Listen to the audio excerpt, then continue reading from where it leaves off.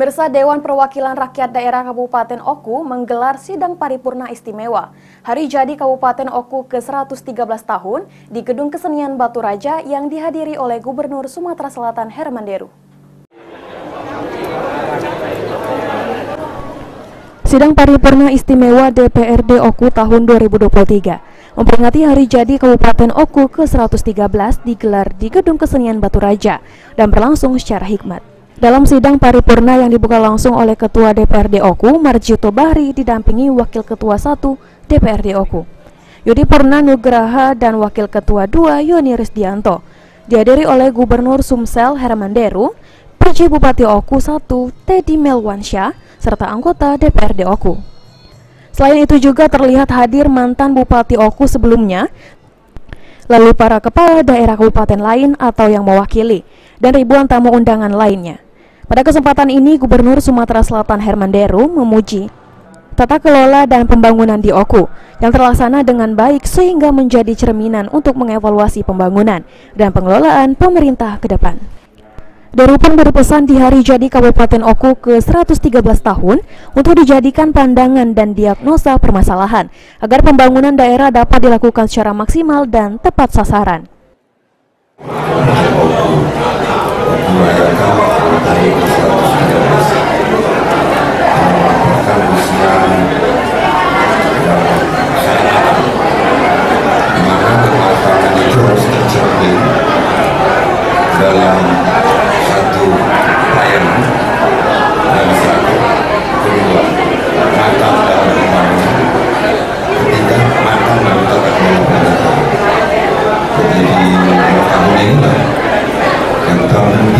diagnosa istilah saya diagnosa apa-apa yang uh, harus kita tinggalkan? Apa-apa yang harus kita tinggalkan? Atau apa-apa yang harus kita perbanyak?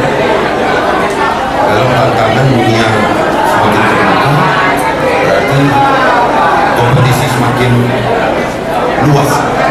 Tidak ada pagernya lagi tidak ada ringnya lagi dalam berkompetisi jadi maka kita tidak boleh ketinggalan penguasaan IT itu penting tapi kearifan lokal tidak boleh tinggal itu pesan yang paling utama di dalam undang 19 Atas hal tersebut, Ketua DPRD Oku Marjito Bahri menyambut baik yang disampaikan oleh Gubernur. Antara lain soal meningkatkan pembangunan dengan peningkatan sumber daya manusia berilmu pengetahuan teknologi dan melakukan kebersamaan dalam pembangunan daerah. Eh, kita sama-sama tadi sudah menyaksikan ulang uh, ulang tahun Oku yang ke 113 ya. Ya, kita meningkatkan uh, hendaknya dalam pembangunan ini tadi sudah diberikan dan dijabarkan oleh Pak Gubernur. Tentunya kita uh, uh, pembangunan uh, dengan teknologi yang tadi juga saya sampaikan dengan tentunya kita meningkatkan SDM dengan STEK yaitu uh, teknologi dan ilmu pengetahuan yang tentunya dilandasi dengan akhlak yang baik. Saya pikir itu uh, saya sampaikan juga seberat apa pun persoalan-persoalan di Kabupaten Ogan Komering Ulu ini, maksud saya penataan maupun pembangunan apabila dilakukan dengan secara sesama dengan kebersamaan, insya Allah ini akan menjadi ringan. Sementara itu, Wakil Ketua 1 DPRD Oku Yudi Purna Nugraha berharap dengan menambahnya usia Kabupaten Oku maka bertambah pula semangat dalam membangun Oku yang lebih baik lagi. Tadi kita sudah banyak mendengar pesan dari Gubernur Sumatera Selatan bertambah, tentu semangat kita untuk bertambah. Kita memiliki sumber daya manusia yang berkualitas.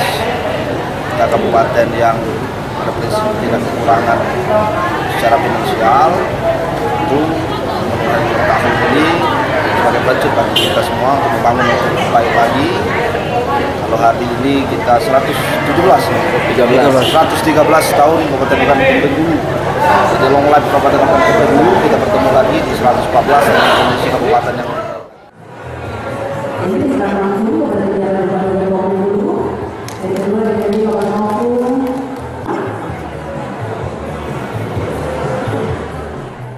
Di akhir pesannya, Gubernur meminta kepada pemerintah, DPRD, dan warga Oku untuk menjaga nama baik Oku karena sejak dulu Oku dikenal dengan wilayah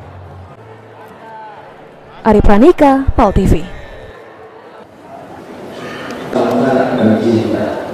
Ya Allah, Tuhan yang Maha. Ketua tim penggerak PKK Pemilu